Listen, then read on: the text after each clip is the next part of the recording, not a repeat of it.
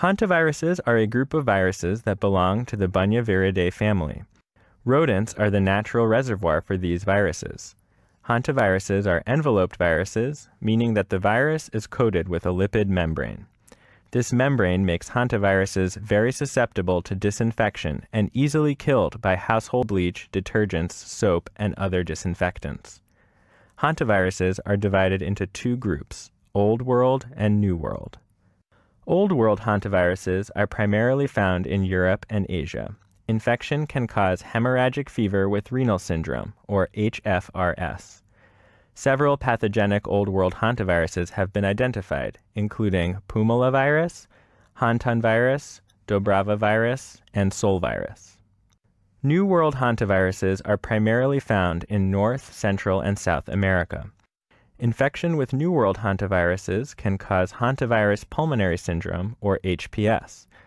Because of the profound cardiac features, HPS is also sometimes referred to as hantavirus cardiopulmonary syndrome. Like Old World hantaviruses, several pathogenic strains of New World hantaviruses have been identified.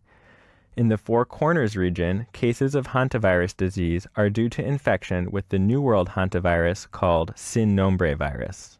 I will now discuss the rodent host of hantavirus. In general, each hantavirus has a single primary rodent host species in which the virus is maintained. Hantavirus infection does not cause any apparent illness in the rodent.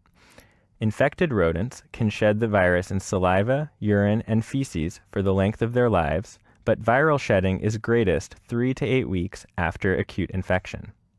The deer mouse, pictured here, is the primary rodent reservoir for Sin virus. It's distinguishable by having a tawny brown upper body and white underneath, on its belly, and on the underside of its tail.